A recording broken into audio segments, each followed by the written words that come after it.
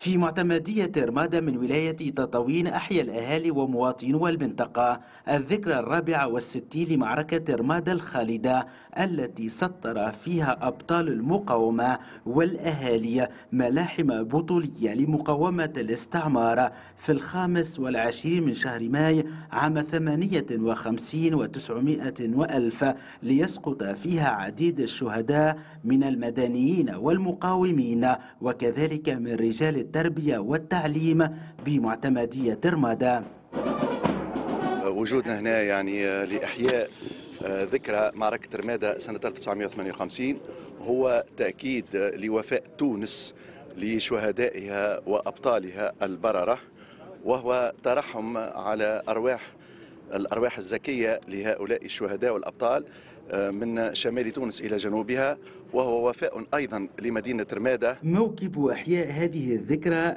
تابعه أيضا عدد من مواطني المنطقة ومناضليها الذين عبروا عن مشاغلهم التنموية التي يرون أن معتمدية رمادة لم تنل حظها من التنمية برغم ما قدمته من تضحيات جسام في سبيل الوطن. رمادة ضحت تضحية كبيرة ولكن التنمية ناقصة. التنمية كل بجميع انواعها عندنا إحنا التنمية هنا كلها فلاحه تربية الماشيه وشوية غراسات مش حاجة كبيرة. ياسر تعبت العباد.